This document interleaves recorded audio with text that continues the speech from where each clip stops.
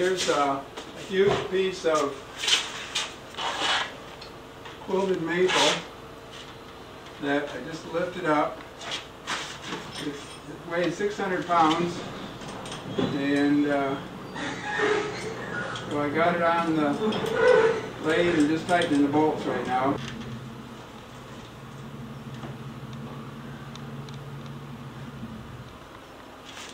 Okay. Just, just take pictures.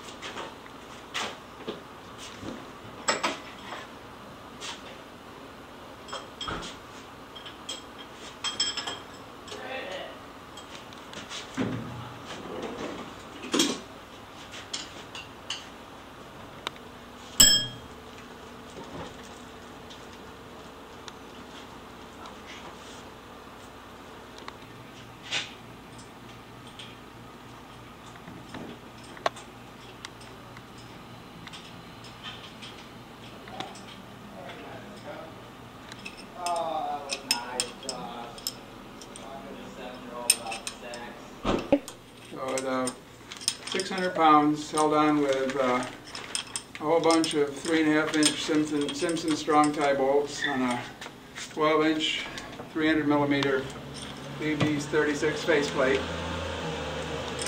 Everything's torqued down. One of releasing the crane. I slipped the thing underneath, but after I slipped it under, uh, I was all just by hook or by crook. Bal- It- balanced It good. balanced just the first time, and it came right on. The only thing I was gonna, point when I drove in, I could see your roof. Oh You- you- Yeah, you checked your bolts, so. Yeah, I did. Bowls, and 600 pounds is nothing. Uh, um, to you know, there's there's three bolts. Each one is like 90,000 psi. Right. So it, It should hold it. yeah, yeah. Yeah, My only concern that's like How far do they go in? Uh, about three inches, but there's yeah, is it 18 or 20 of them, something like that. Yeah, but it- You could have changed it.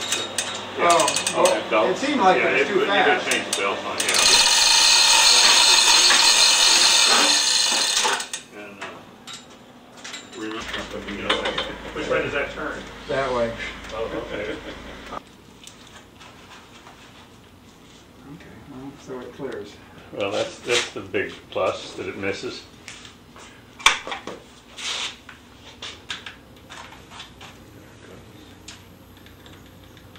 Let's try.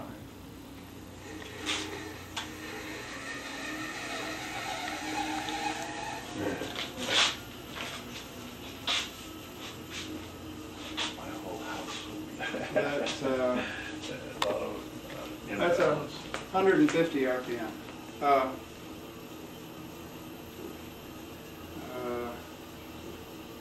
100 RPM. Something like that. Okay, so it turns. It does turn? Yeah. Now, are you gonna, uh, Should if I know. are you gonna trim off some of the left side Yeah. with, with a chainsaw Yeah. before you start trying to to. turn? Yeah, this is just. Um, you notice the tailstock. So the, the support isn't even center. there yet. Yeah. Yeah, you know, it's pretty close though. I mean, look, you're, you're, uh, Is it? I, that, you know, I, I was. you're, you're not moving more than Ah. about three or four inches. Well, that's good. Yeah, I, I Looking at it side here.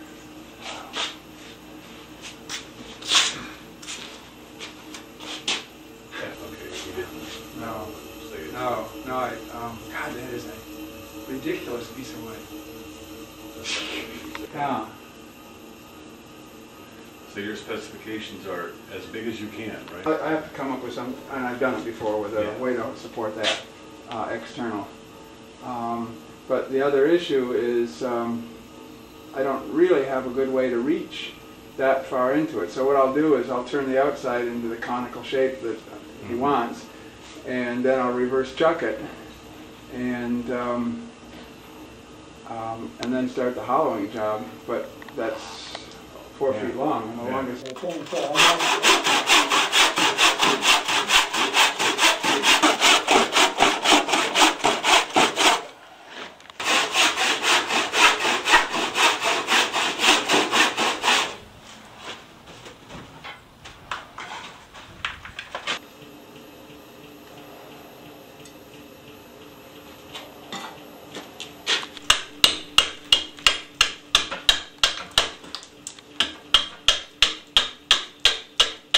First chips. Yikes. Hmm. It's dangerous. Oh my gosh. Hmm. Hmm.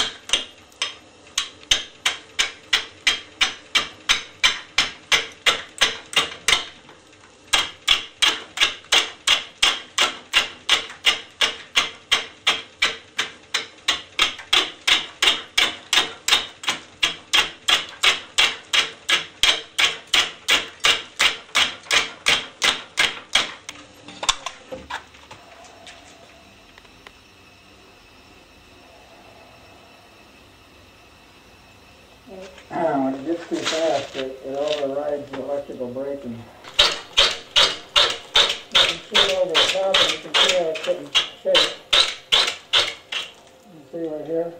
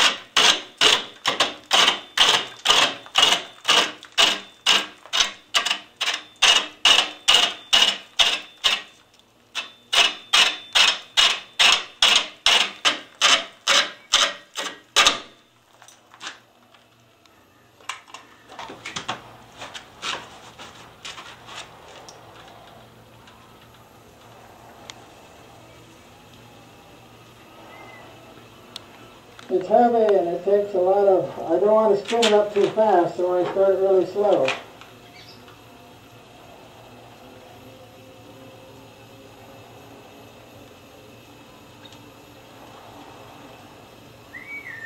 So that's about 150 RPM.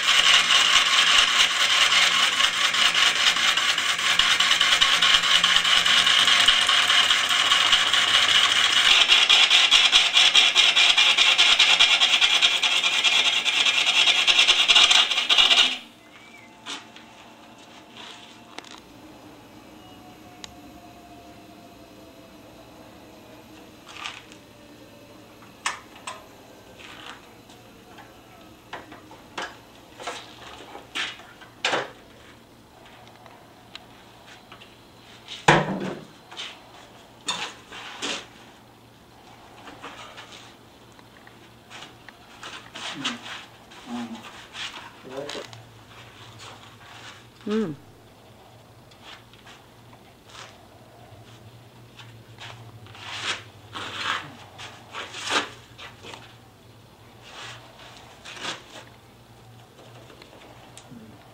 So there's a branch that is attached there, and then that's,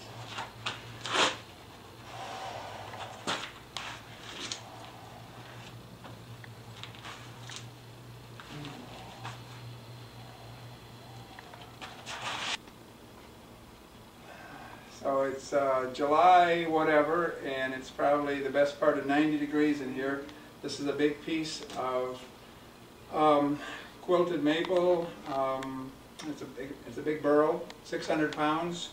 Um, Winston Lambert is the fellow that's paying me to make this as a speaker cone. It's meant to it's meant to be like this, only bigger. So this is one that somebody else made for him.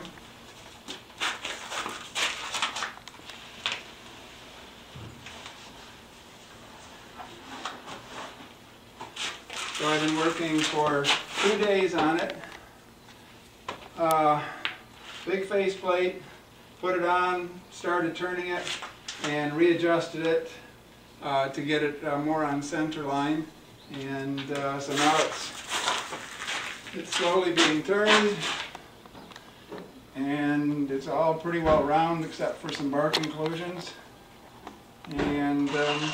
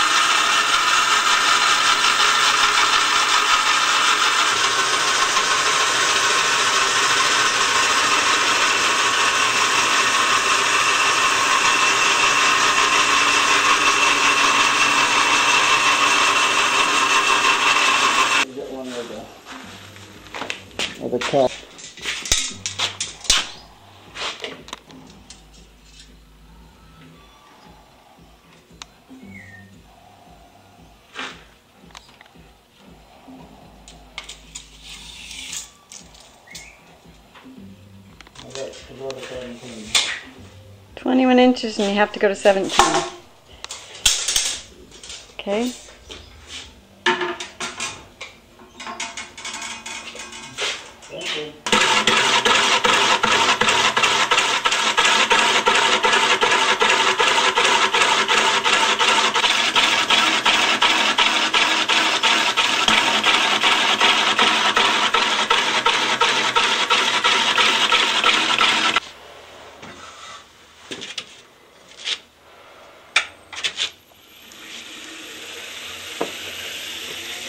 Don't fall.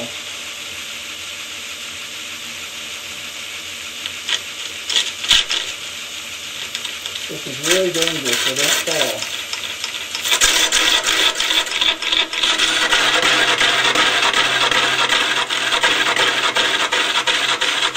Okay.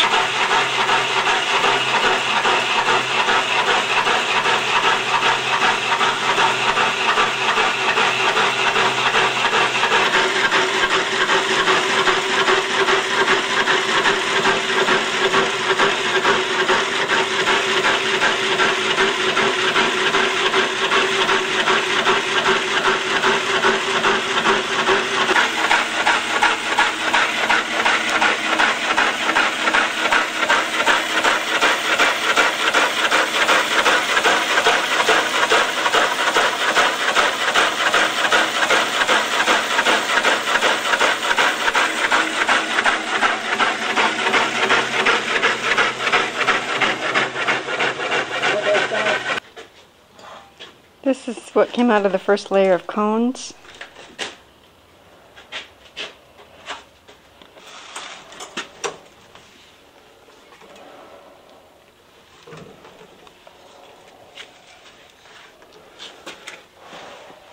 Ready?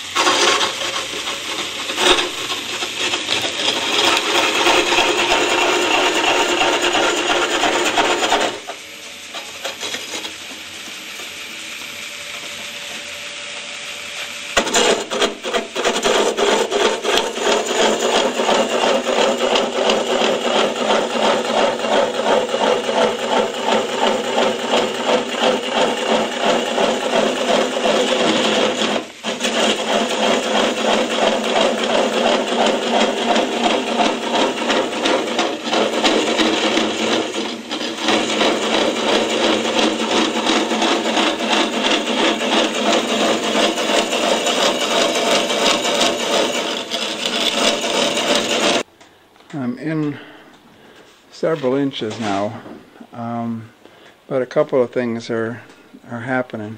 Um, one is that the, the cutter, which is this little carbide, I started out with it going in on the flat face, and I just now tried it going in with the diamond face. You can fit it into the holder in two different orientations. You can see the little V there where you can put it in with a diamond in there so it comes in flat. Uh, when it was going in flat, it seems like it was um, chattering a lot. So I turned it so it was going in like that. So it's like an alternate top bevel uh, chisel tooth. And, uh, and that seemed to be cutting pretty well.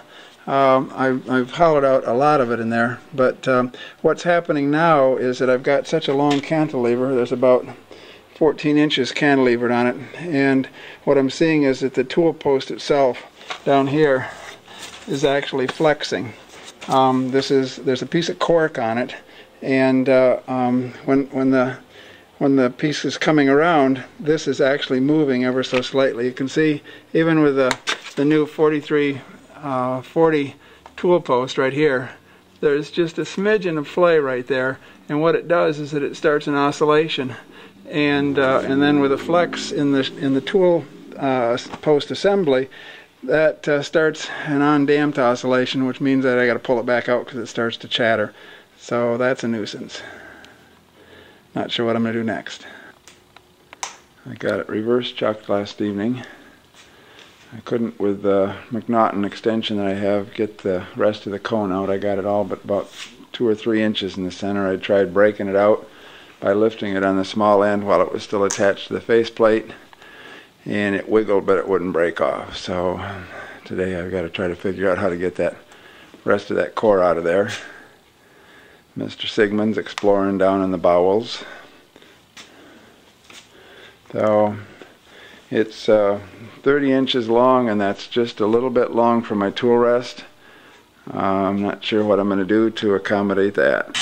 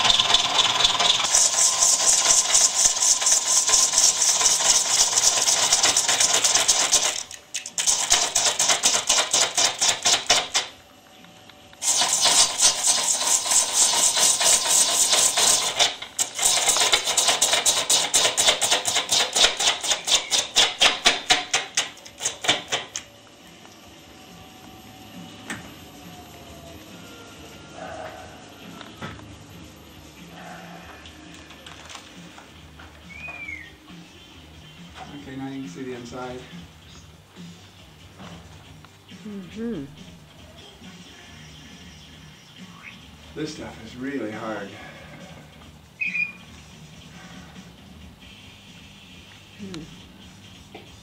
And it's it's offset, um, but that's life. Uh, it's gonna, I mean, there's gonna be a lot. Uh, Okay, so the inside is pretty near done.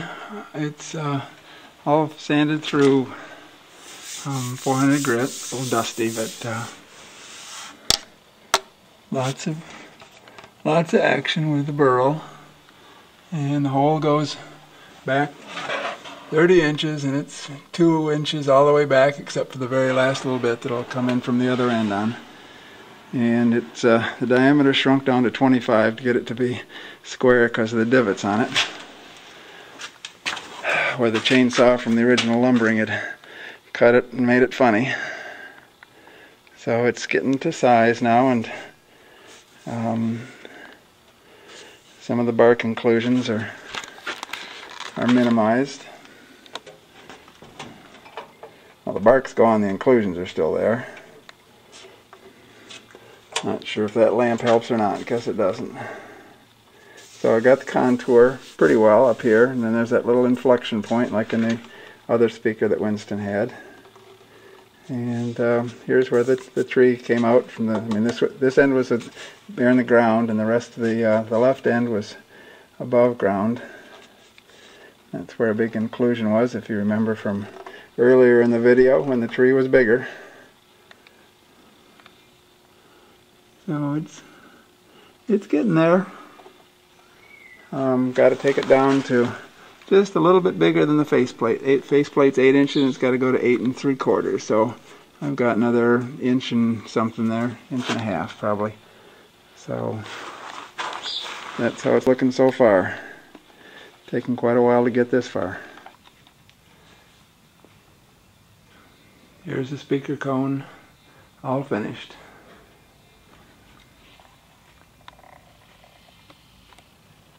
Lots of really nice grain, bright colors, tremendous burl. No finish on it yet. This is just sanded through 2000 grit.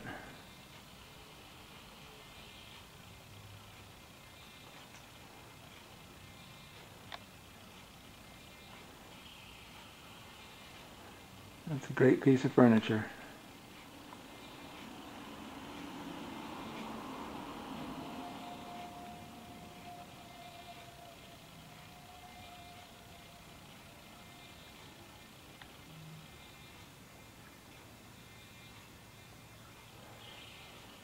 Nice red coloration where the bark was.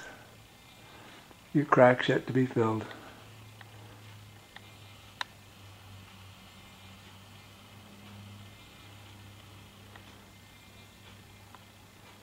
Weighs about a hundred pounds.